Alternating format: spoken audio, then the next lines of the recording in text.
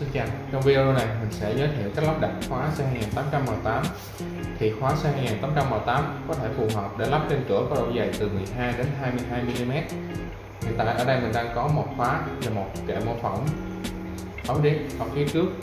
Ở đây là phần mặt trước và ở đây là phần mặt sau.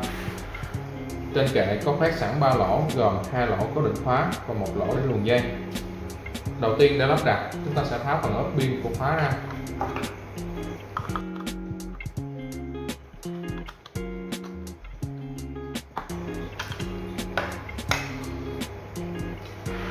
Ở đây chúng ta có thể thấy trên mặt sau có hai lỗ để lắp ốc cố định, tương ứng với phần mặt trước.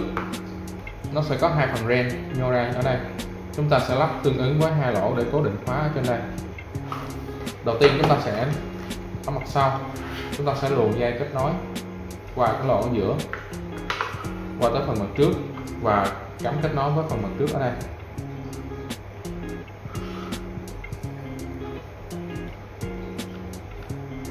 Rồi, ta sẽ đưa hai ren này tương ứng với hai lỗ cố định ở trên đây.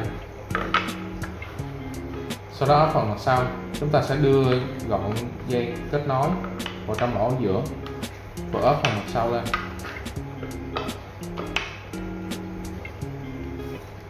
Ta dùng tay giữ chặt, và sau đó ta sẽ đưa phần lỗ, phần mặt sau vào vị trí lắp ốc.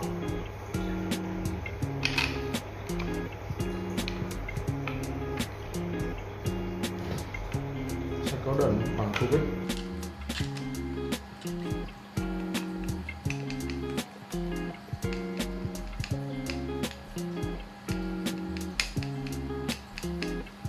ban đầu chúng ta sẽ siết vừa tay để có thể điều chỉnh lại vị trí của khóa nếu muốn.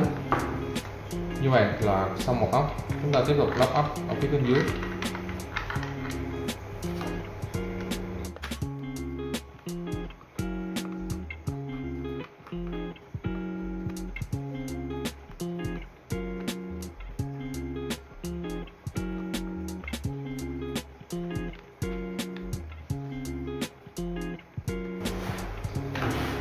Chúng ta điều chỉnh lại vị trí của khóa.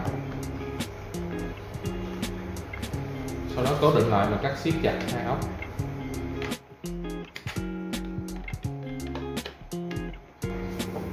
tiếp theo chúng ta sẽ lắp 4 pin 2A vào phần khay pin của khóa.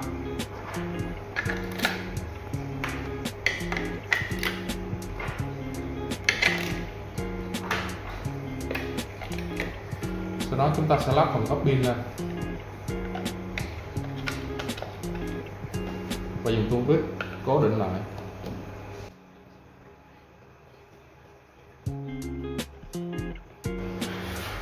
Như vậy là chúng ta đã hoàn thành việc lắp đặt khóa C2800M8 chúng ta có thể kiểm tra lại hoạt động của khóa sau khi lắp đặt.